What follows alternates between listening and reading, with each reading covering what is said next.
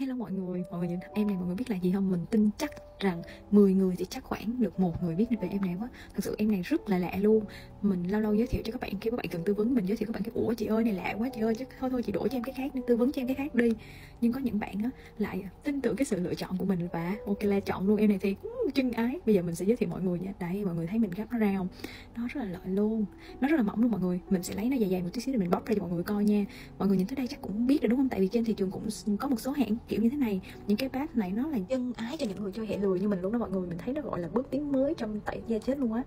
Em này á chiết xuất từ rau diếp cá nè, nên rất là phù hợp cho những cái làn da mụn hay da nhạy cảm luôn. Với thành phần là 10% chiết xuất từ cây diếp cá lên men ha.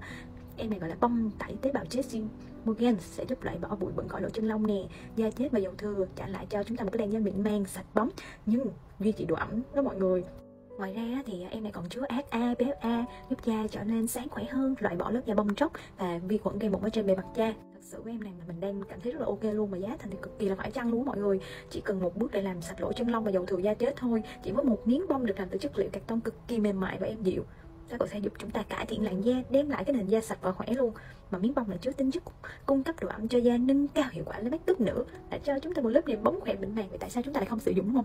Thực sự, đây là một, sẽ là một em mình nghĩ là nếu bạn đã va phải sẽ âu với mẹ em rất là nhiều luôn á, tại vì mình đang mắc nghiện nó. Trời ơi, thích lắm luôn, rất là tiện lợi và rất là ok luôn đó mọi người.